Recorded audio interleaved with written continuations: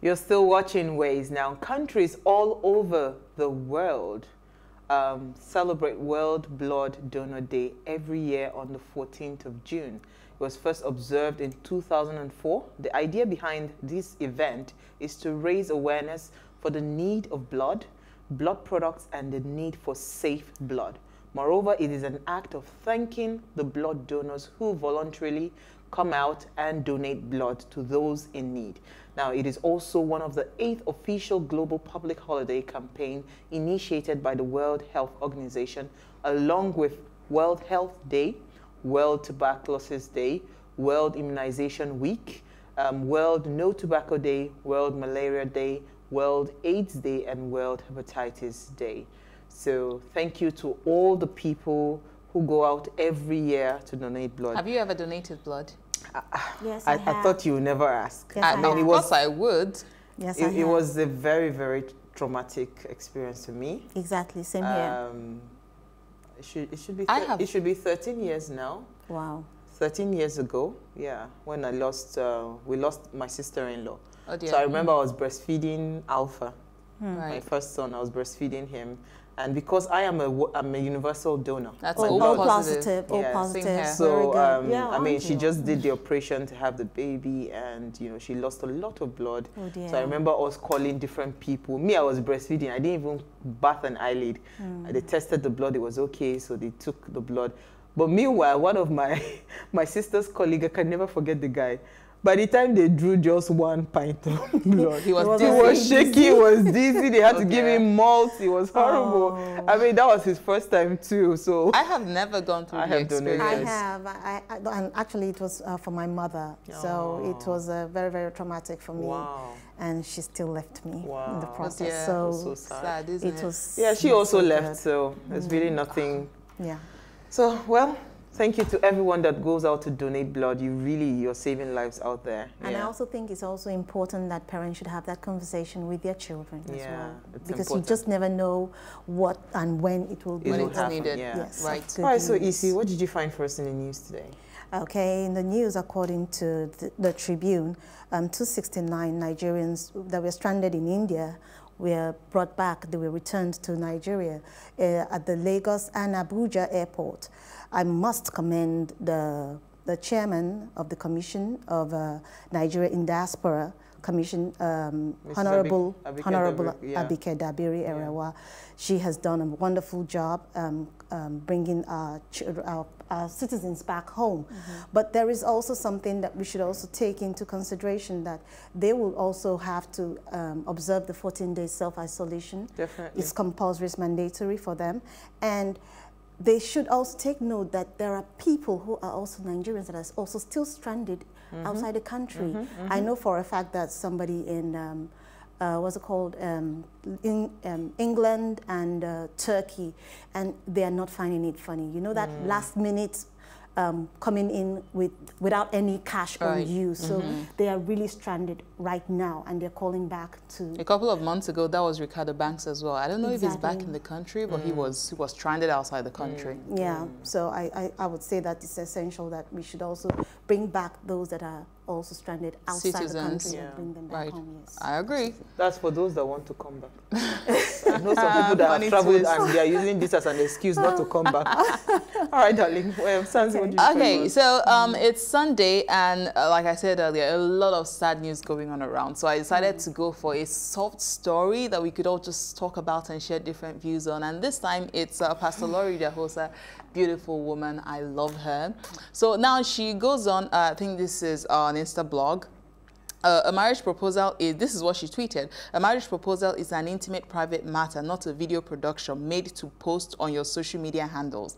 Guys, watch out for the lady who tells you how to propose. She won't um, let you uh, rest your entire marriage. Public proposals oftentimes end in private disaster. And to a certain extent i do disagree because uh, like i'm not i'm not the person that would say you know what? Um yeah make it a party or so but i would always say like if you're going to propose to me i don't care if it's just the both of us but make sure there is a camera person around because i love moments and it's a special moment i want to like remember forever in pictures. What do you ladies think That's for those that are not married that are No, looking but I'm even for saying that it's, it's getting romantic. too much. Honestly, us taking all our lives and putting it on social media is Exactly. getting too much. I think I agree with her. What? You know, yeah.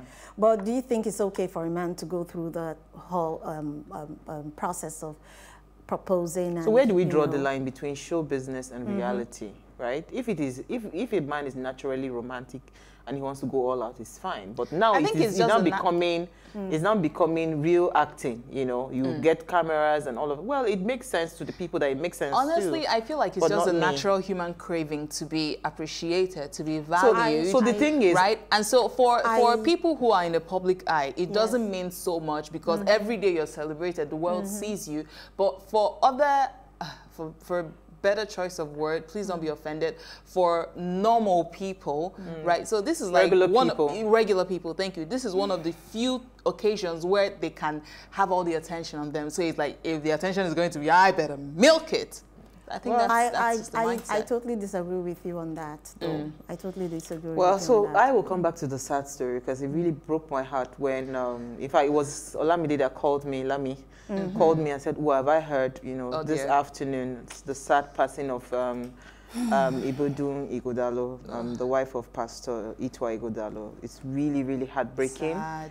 I mean, she was such a beautiful soul. You know, there was something interesting about her. So it was reported, first of all, that she died at about 2 a.m., um, early hours of this morning, um, from a cardiac arrest. You know, um, so, you you know, it's really heartbreaking for me because, I mean, I followed her. I followed her all through on social media. In fact, immediately Lamide called me. I quickly went on Instagram to search for her. Listen, I just really, I just liked, literally liked her picture yesterday because she was traveling, you know, and I mean, it was reported that she died, I think, in Port Harcourt as well, you know. So every single time um, Ibidun Ighodalo would want to travel, you know, because she's always putting it on social media. She would hug, she would kiss, you know, she would hold her husband. She would say, "No, I don't like leaving him," and all of that. It's as it's, it's just like she knew that maybe one of these Final trips I would go and never come back. I mean, so the video that has been trending, you know, all over social media was the video she did about maybe two days ago or something, Hmm. where it was posted, or four days ago, I can't remember the day now. She was hugging him. In fact, um, Pastor Ituah was shouting there, oh, Governor Solu, domestic violence and all of that. And now she's gone. It's really sad. Um, my condolence goes Tragic. to, yeah, goes to Pastor Ituah. I tried to reach out. Of course, I knew he was not going to pick the call. course. But just to register that, you know what, uh, are- your, our hearts are yeah, with you. But he Our is prayers such a with you. strong, brave man, irrespective of you know hearing the news, the very sad news at 2 a.m. Earlier today, he was still at the funeral proceedings of, Of- um, yeah. uh, Modupe Johnson, I think. Yes, Yeah. yeah, yeah. He went to to officiate uh, um, the passing away of someone else. I mean, it's you know Hmm. That's- sometimes you say you can't question God, but you know this year, you know, if I tell you the number of people that I know that have passed this year, so that's why I say to anyone out there, Be able this is not the year 2020. to, to hold grudges to Yeah. whatever love more forgive more because there Mm-hmm. will always be people that would offend you and all of that just live the best of your life and let us hope and pray that by god's grace 1st of january 2021 Right. we'll all be together to celebrate but it's it's a tough year it's a tough year. So so and that's why i'm even wondering how i'm going to ask that well i think um, i'm going to ask our guests because this is a year of so much uncertainty right? So i really want to dig into the mind of the entrepreneur.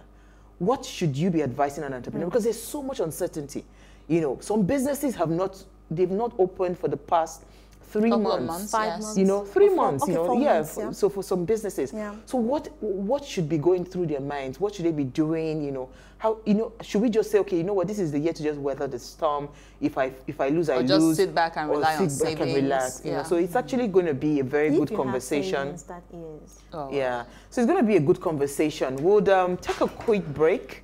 Our guest, um, Steve Harris, will join us right after the break to discuss growth and the entrepreneur's mind. Please stay with us.